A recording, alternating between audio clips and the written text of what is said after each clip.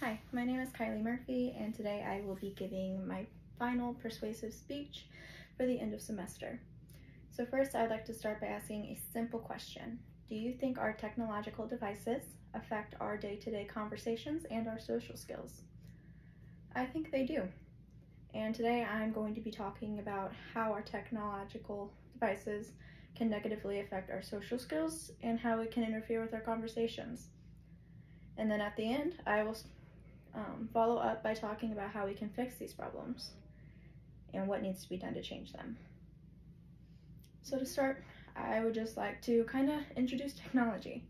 So today's world, if it's an iPhone, an iPod, an Android phone if you have one of those, tablets, laptops, Xboxes, computers, even your Apple Watch if you have it.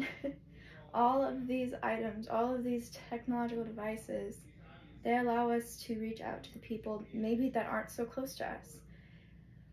Across the country, next state over, next town over, in a different country, other parts of the world. It allows us to communicate effectively with them for the first time in I don't know how long, years, hundreds of years. It's never been able to be done as effectively as it is today whether it's a phone call, a text message, an email, FaceTime. Heck, if you're even calling while playing video games, it's allowing us to communicate with people that aren't right there next to us. And although this is a good thing, it brings a lot of cons and it brings a lot of trouble to not only us, but the people around us trying to communicate with us. So the first point I would like to bring up today is technology is a distraction for us. And I will start by using me as an example. Me personally, when I am talking to the people in front of me, if that's my mom, my dad, my brother, and my phone is right next to me or even an arm's length away, if I see it ding or even light up, I will reach for it. I will drop the conversation I'm having to see what is going on, and I will scroll, just forgetting that there's people around me. And I hope I'm not alone, alone in this. I hope other people do it, but this is one of the biggest problems with technology. It's almost like an addiction to some of us. We hear the phone ding, we see it light up, we maybe not even hear it, but we think we hear it, and we drop everyone, every conversation we're having to go look at it, see what it is. And even some of us will use it as an escape. If we don't want to talk to a person, we'll get on our phone, just kind of block them out, don't have to deal with it. like my brother, for example, and this has been going on since he was five. He's got introduced to technology as early as I can remember. When he doesn't want to socialize, he'll go in his room and play his game. And most of the time these days, that's more often than not. But he doesn't get face to face conversation. He doesn't get to connect with a person. He doesn't get to see their body language. He doesn't get to see how they're reacting. So he doesn't get the proper social skills. And there is a study that supports this, and I did link it in my outline if you wanted to read.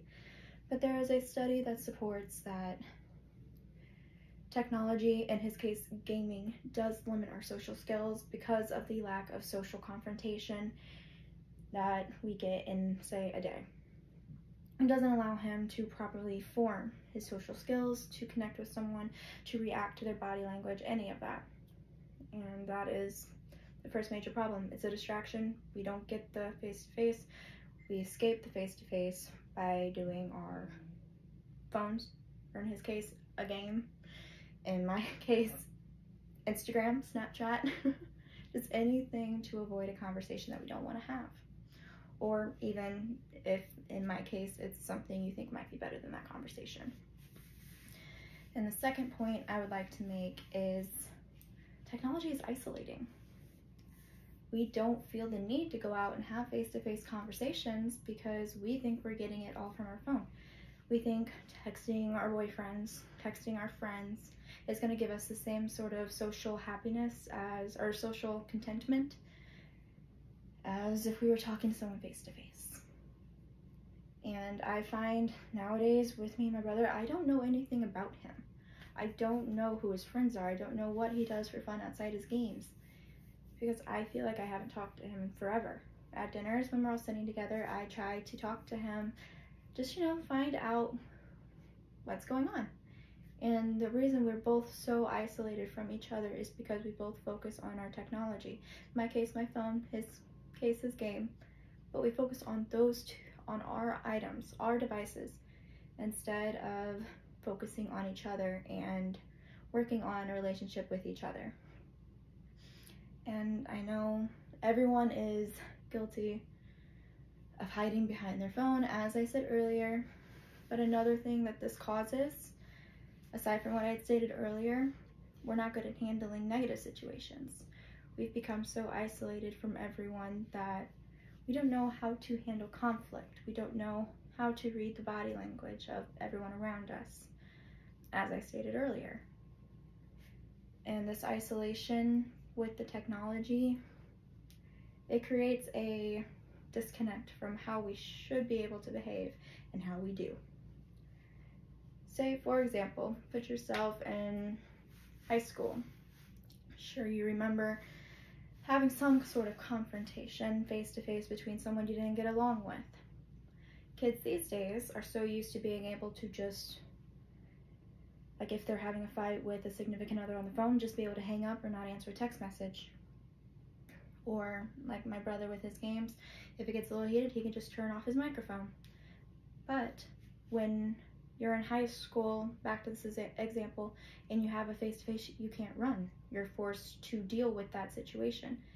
And nowadays, people don't have those skills. So they're not able to properly manage the situation or walk through the situation. They're not able to pick up on the uh, physical pointers that show like when someone's uncomfortable or if someone's getting mad, like they don't understand how to pick up on those signals. And so it, things escalate. We're not able to properly de escalate situations. And all of these can be downfalls of technology, and they're very common downfalls with technology. Almost everyone has either one of them. Either they get distracted with the technology, or they're isolated by the technology and they're not able to have proper conversations. So, how do we fix these problems? For some short period of time out of a day, just to start, just put the electronics away, put your devices away.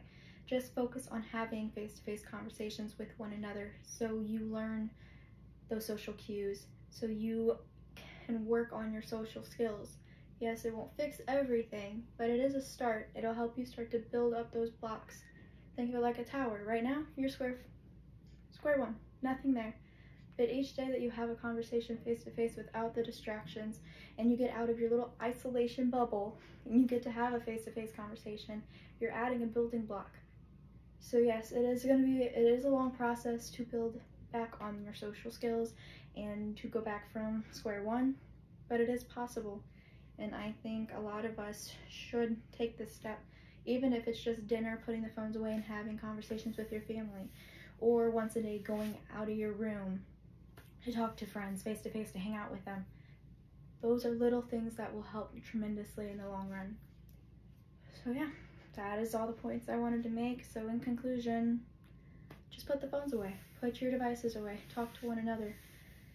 So that way, one, you don't disconnect from the world around you. You don't get distracted by your phone. You don't become engulfed with your technology. And two, so you don't become isolated, where going out and talking to people is a struggle for you and you're not able to handle these social interactions. And finally, I know this isn't going to change everyone's minds. I know everyone's still going to go to the technology, and I know technology is still going to play a huge role in our lives, and I don't expect that to change. I just hope you'll take a little from this speech and you'll maybe take a hour maybe out of your day just to have a face-to-face -face conversation with no distractions. So yeah, hope you enjoy.